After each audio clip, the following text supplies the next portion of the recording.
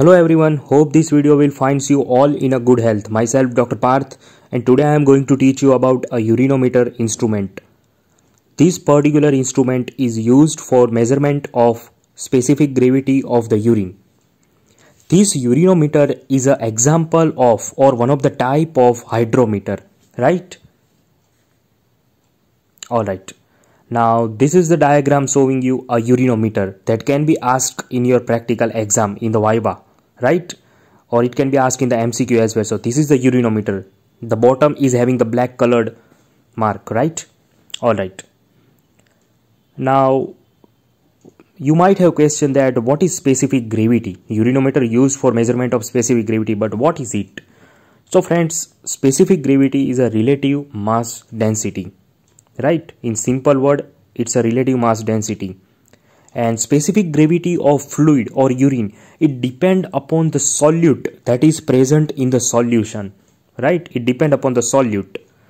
So scientifically specific gravity is a comparison of density of urine against the density of distilled water. We are comparing it with a distilled water right? At particular temperature. Specific gravity of distilled water is 1.0 it's a 1 right? Now Normal specific gravity of urine is 1.003 to 1.030. That is the normal range. It can be asked in MCQ. However, your specific gravity of urine might change according to your hydration status, right? And normal specific gravity of urine is related to urea and sodium. It is because of urea and sodium, right? Now, specific gravity of urine measures the concentric ability of a kidney. So you can get idea about tubular function of your kidney, right? So specific gravity of urine increases as the solute concentration increase in the urine. The specific gravity of urine is inversely related to the temperature, right? It is directly related to solute, solute but inversely related to temperature, right? Now, which are the causes of increased specific gravity of urine? So, obviously the causes are where your solute concentration is increases. So, first example is diabetes mellitus in which you have the glucose in the urine, right? Second important cause is nephrotic syndrome in which you have the proteinuria means presence of protein in the urine. So, it can increases the specific gravity. The third important cause is the fever in which temporary specific gravity is increased. And finally, the another cause of increased specific gravity is a dehydration because of less water drinking. Alright. Now exactly opposite which can be the causes of decrease in the specific gravity of urine. So the specific gravity decreases in case where the solute is less and the water is more. So the example is diabetes insipidus.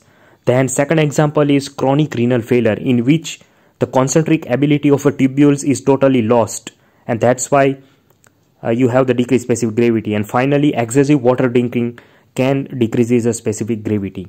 All right. Now we will see the urinometer method for the specific gravity measurement how you will use the urinometer. So it is totally based on buoyancy principle.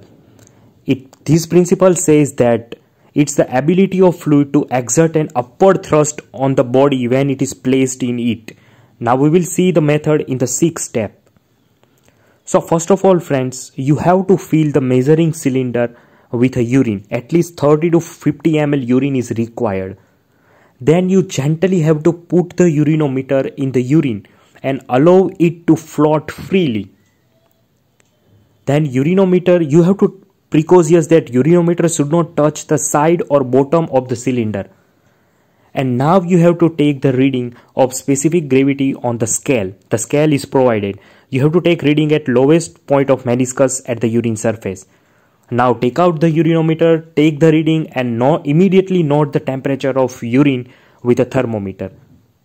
So here you can see that we have filled the cylinder with a urine. At least 30 to 50 ml urine is filled and we have put the urinometer in the fluid. Now you can see that it float very freely and you have to take the reading, right? So this is the method. Alright.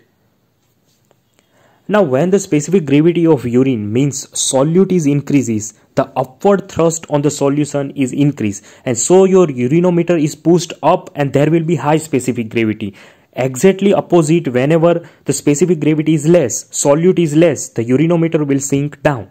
So that is the principle of urinometer use, right?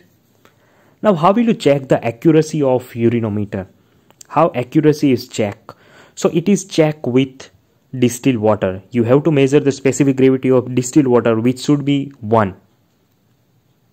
Right? At the calibrated temperature. Here the calibrated temperature word is important because you have to correct the specific gravity if your urinary if your urine temperature and calibrated temperature is not match if there is a discrepancy then you have to correct for the temperature now how will you correct it? So specific gravity measurement corrected for the difference between the urinary temperature and calibrated temperature. How will you correct it?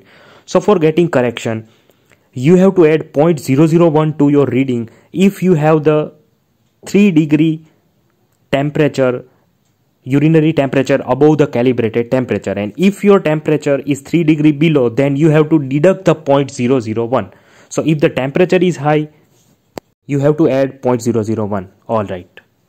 Now how will you correct the specific gravity for the dilution? Suppose sometime what happen your urine is urine amount is very less 5 to 10 ml then you can dilute the urine and then you have to take the specific gravity reading. But you have to take care that the last two figure of your specific gravity should be multiplied by dilutional factor. Alright. Finally, how will you correct the specific gravity for the glycosuria and proteinuria? Sometimes you want to nullify the effect of glycosuria or proteinuria. So it is done to exactly check the concentric ability of a urine. You want to nullify these both effect. So in that case, you have to subtract or deduct 0.003 for presence of every each 1 gram of protein per deciliter in the urine and for the glucose presence you have to deduct 0.004 0.004 deducted for each 1 gram of glucose per deciliter of urine alright now this is very important viva question what do you mean by isosthenuria so friends, isosthenuria means your specific gravity of urine is fixed at a 1.010 due to loss of concentric ability of the tubule. So fixed specific gravity means isosthenuria. It is seen in CRF. Hope you have enjoyed this video and like, share and subscribe my channel. Thank you very much. Take care and bye-bye. Thank you.